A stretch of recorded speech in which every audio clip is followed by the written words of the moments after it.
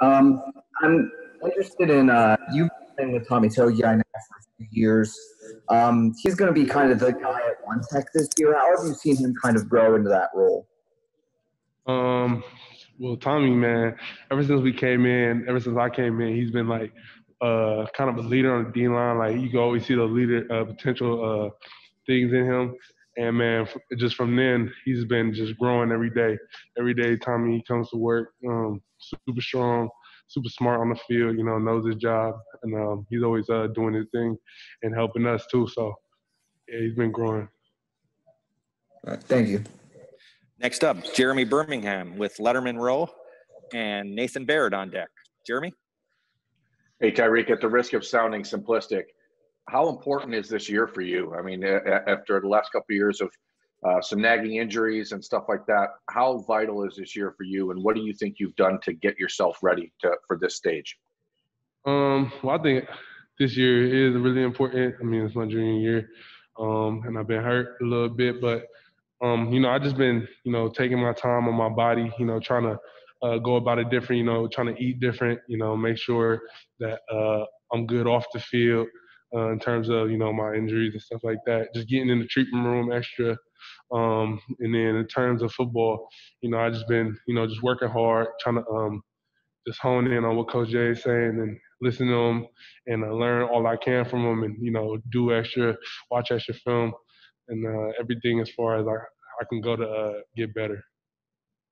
Thanks, man. Please don't tell anybody what you're doing different as far as eating, okay? Because I don't want it to turn into a giant thing. Next up, Nathan Baird with Cleveland.com and Bill Landis on deck. Nathan? Yeah, no diet questions from me. Uh, Tyreke, I, am curious, you know, social justice issues, they were a really prominent thing with this team early in the summer. And then obviously everything that happened with the Big Ten maybe got pushed to the forefront a little bit. Do you expect that to be something that yourself, other players kind of bring back in a public way once the season begins? Um, yeah, I think it never left us for real. Um, you know, we always, uh, you know, just looking out and trying to bring that, uh, bring that into everything we're doing. I mean, uh, social justice is a big topic in today's world. Um, what's going on is, you know, not not right, and we know that. So, my mom, you know, uh, our parents, you know, all the players, you know, we never we never really forget what's happening, and we always you know keeping that with us, and you know everywhere we go.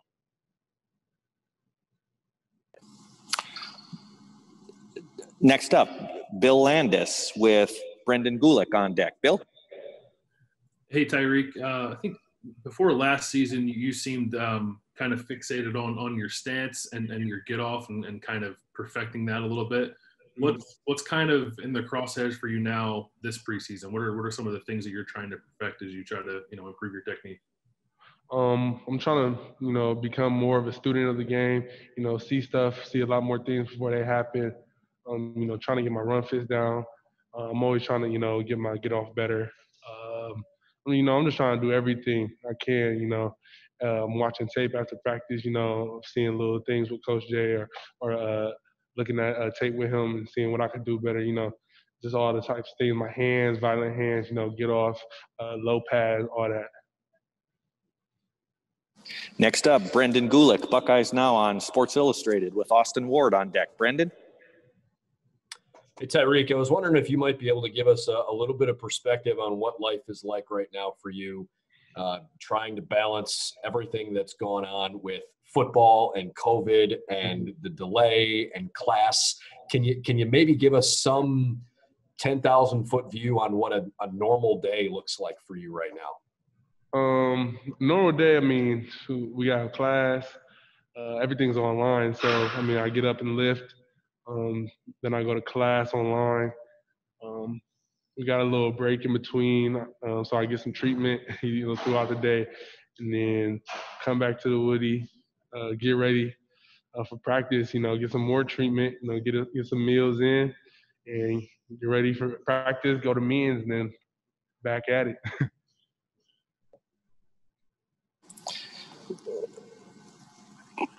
Sorry about that, guys. Uh, my phone was ringing. Uh, next up, Austin Ward, Letterman Row with Dan Hope on deck. Austin. Tyreke, uh, Chase has talked many times about how you know, that you would be the guy to take the torch and how confident, you know, he was that he would be able to meet that first round rushman standard. Now that it's it's your turn, how many conversations like that did you have with Chase, you know, to to handle that role and and are you ready for this moment to to take it? Um, you know, I talk to Chase a lot, and he's always just telling me, you know, just trust my technique, you know, trust in Coach Johnson, and, you know, and trust the system. So he, every day, he's just, you know, every time I talk to him, he's just telling me, you know, just be myself, you know, trusting what Coach Johnson has to say, and then it'll all take itself from there. So, um, you know, I just let God handle it itself. You know, I work as hard as I can work, and I do what I could do to make myself better and to help the team be better. And then um, I just hope everything falls into place.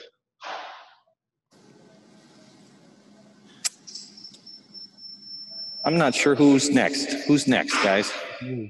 It goes me. Dan Hope. Go ahead, Dan. I'm sorry. Dan Hope with 11 Warriors. Tyreke, Larry was saying before of it, you know, he thinks you guys have five defensive ends who are all good enough to start anywhere in the country. What's it like being a part of that group and having all you guys to push each other? Uh, I think it's great. Um, I think everybody, you know, can learn from everybody. Everybody's different. Everybody rushes different. Everybody, you know, has different strengths and weaknesses. And you know, we're all uh, like brothers in, in the D line unit. And you know, and the five D ends, we're we're really really tight.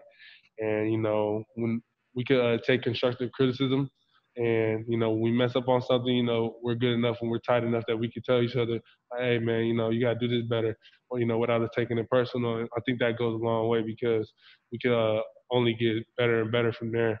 Sky's the limit for us. Thanks, Tyreke. We got one final question for Tyreke. Uh, this is from Bill Rabinowitz, the Columbus Dispatch. Uh, yeah, Tyreke. Um, how different is Zach Harrison this year than last? How good can he be? Um, man, Zach, he's great. Uh, you know, I'm, I always can learn from him too when I watch him. Uh, his get off, um, his uh, student of the game, the way he uh, takes the uh, to the field. He's just um, on point all the time, and you know, he keeps everybody else on their toes too. And you know, his speed, quickness, his uh, strength. He's uh, always growing. You know, always working hard, and um, he's uh, one of the leaders on the D line already. You know, you can already see those tendencies in him and you know, I already know um, he's going to take over. You know, he's going to be the one because he's uh, he got that mindset and that mentality. So that's been great uh, for everybody. Thanks for watching. Be sure to click on that subscribe button so you don't miss a single thing. And come visit us over at BuckeyeGrove.com for all the best Ohio State information on the web.